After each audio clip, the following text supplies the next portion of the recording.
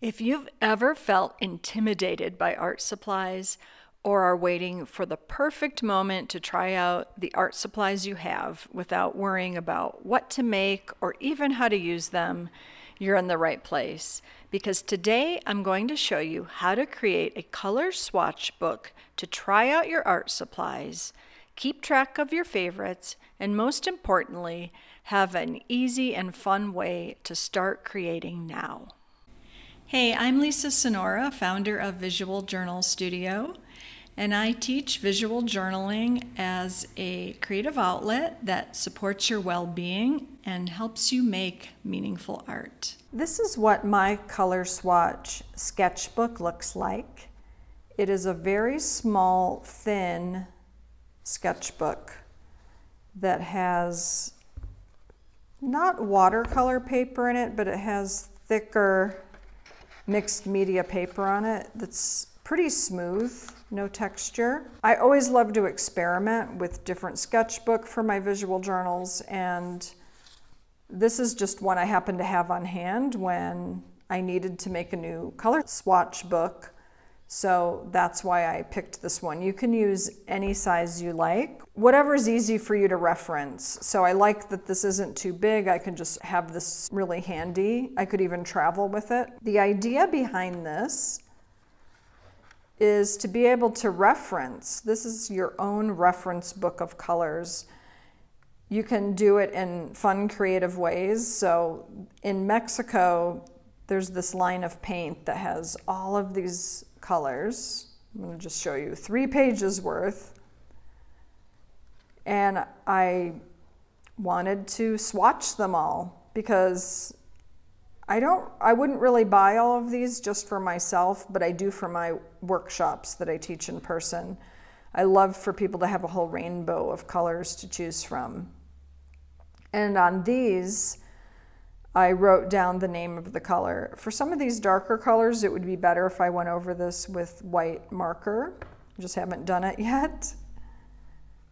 So that way, it's really easy to learn, oh, are there colors that are too similar to each other that aren't worth buying another one?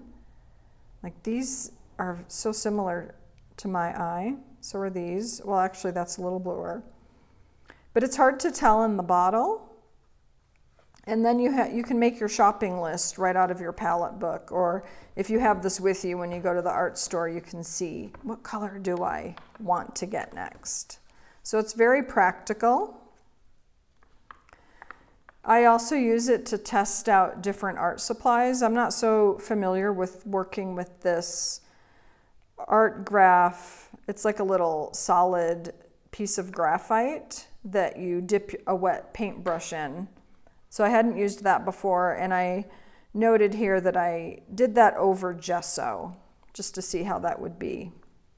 And then under here, yeah, I think I did with this with a brush. No, no, no. I used an ArtGraf 6B graphite stick.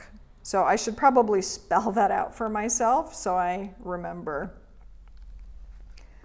I also use these to document different color combinations that I really like. So this came from some paintings I was doing of flowers and I just wanted to have a reference for that because you can never get the same colors going again. So it's a nice reminder. This was experimenting with some ink with acrylic paint.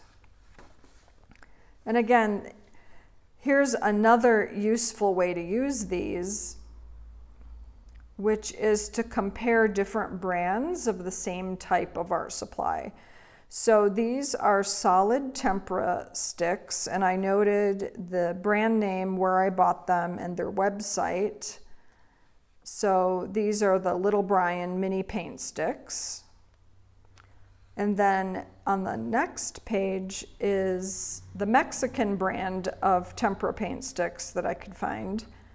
So how many colors were in the set, but it wasn't until I compared these, sort of, it's not exactly a side-by-side -side comparison, but these are definitely more pastel there's actually a white up here. You probably can't see it that well.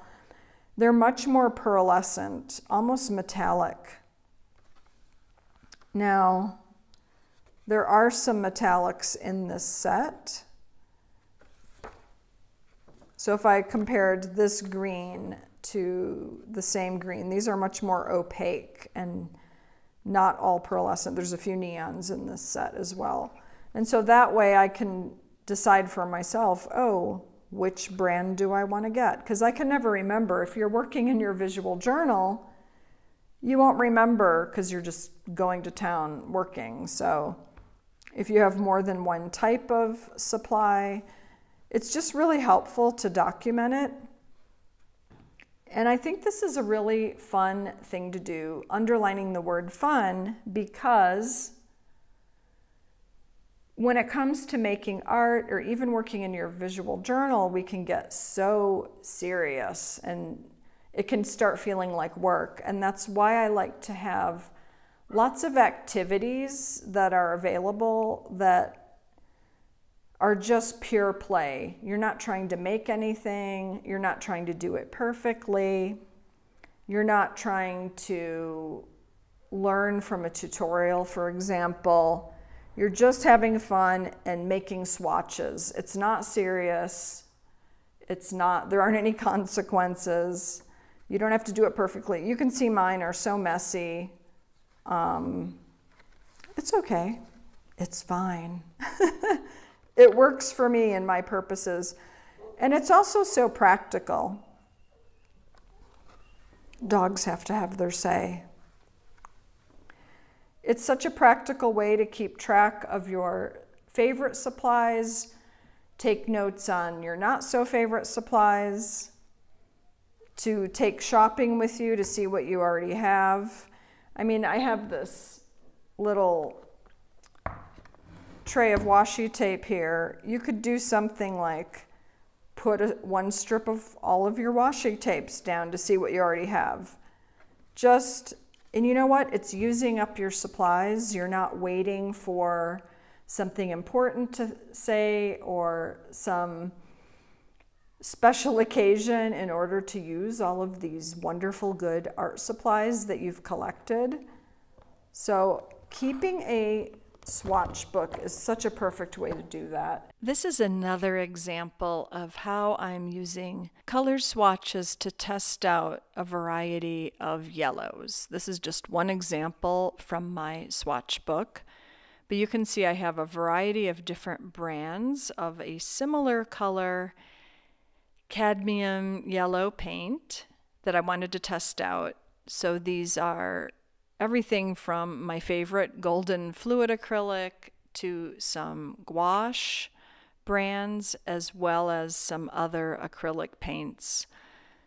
What I did in some of these examples is paint right over the description of the brand and the color so that I could see how translucent the paint is. What I did was squeeze out a little bit of the paint from the tube or bottle onto a blank sketchbook page from my larger sketchbook.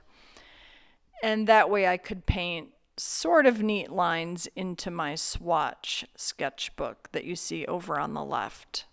Doing the swatches this way also gives me a sense of not only what the colors look like, but also the consistency of the paint how does it feel on the brush? How do I like using it? And then after it dries, since these are all acrylic base, how sort of plastic do the paints feel and look after they dry?